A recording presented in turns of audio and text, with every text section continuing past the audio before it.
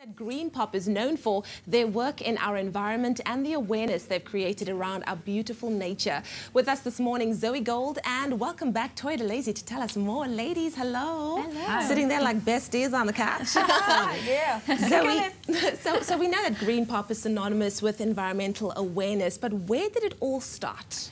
So it's a really interesting story because Greenpop, I think, really epitomizes the idea of the potential of a seed, mm -hmm. like something really small turning into something big. Yeah. It started five years ago with Jeremy Loops, who we all know now, um, Misha Teasdale, and Lauren O'Donnell. Yeah. Uh, they got together some of their friends and they all wanted to compensate for their carbon footprint. Mm -hmm. So they decided to plant a thousand trees in September 2010.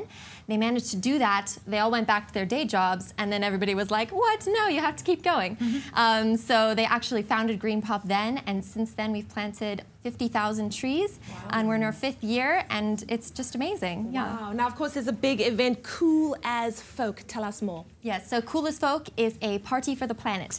Uh, it's an annual fundraiser that we run. Uh, we have one in Cape Town and one in Joburg this year. Joburg is happening tonight, um, and you can catch amazing Toya Delazy there, as well as Jeremy Loops, uh, our very own Jeremy Loops. Um, he's going to be headlining as well, uh, with some other amazing acts, including Majozi, uh, Flint Meets Spark. It's going to be amazing. Um, we have some little secret events kind of lined up. Uh, we have uh, skate, cycle, walk to the event so people can actually get their green through their own power.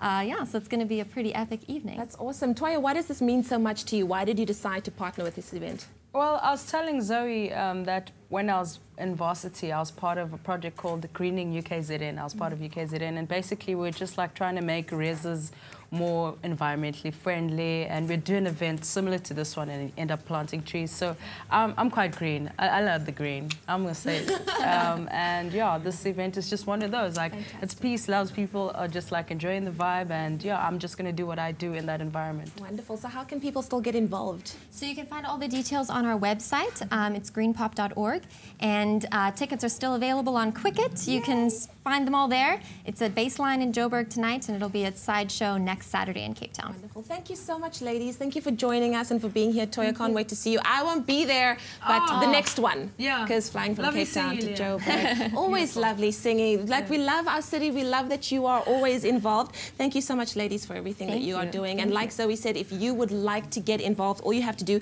is go to www.greenpop.org to find out how you can support Greenpop and also all of the amazing initiatives that they have. Well, it's time for us to head back into the kitchen with Ewan.